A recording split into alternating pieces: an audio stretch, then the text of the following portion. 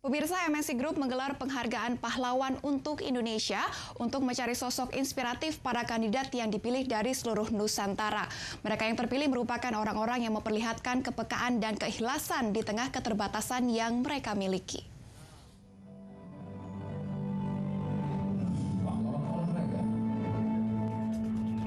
MNC Group menyelenggarakan program khusus yang melibatkan sosok-sosok berdedikasi tinggi kepada masyarakat. Para kandidat yang terpilih merupakan sosok inspiratif yang mampu membawa perubahan di lingkungannya dan menginspirasi orang lain.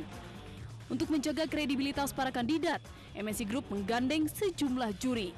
Penjurian akan dilakukan dalam tiga tahap dengan menyaring 50 kandidat menjadi 10 kandidat sebagai pahlawan untuk Indonesia. Untuk menambah bobot penilaian, MNC juga mendaulat Haritano Sudibyo, CEO MNC Group, serta Mahfud MD sebagai juri kehormatan. Jadi memang eh, banyak hal yang bisa membuat kita takjub tentang bangsa ini. Karena ada pembina-pembina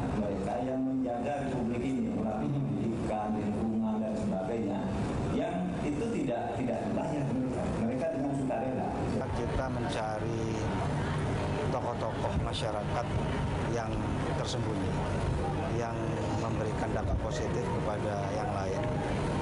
Sehingga pertama kita berikan apresiasi yang kedua kita ekspos di media supaya bisa menjadi contoh bagi yang lain jadi inspirasi bagi yang lain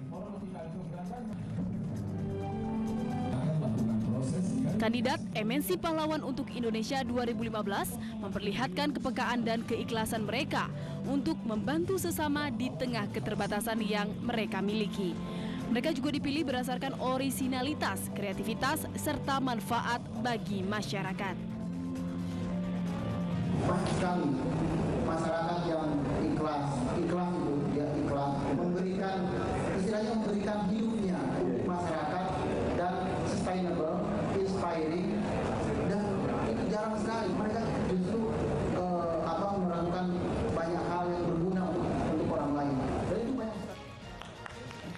MNC Group akan menggelar malam penganugerahan pahlawan untuk Indonesia 2015 di Jakarta yang pada Hari Pahlawan 10 November mendatang.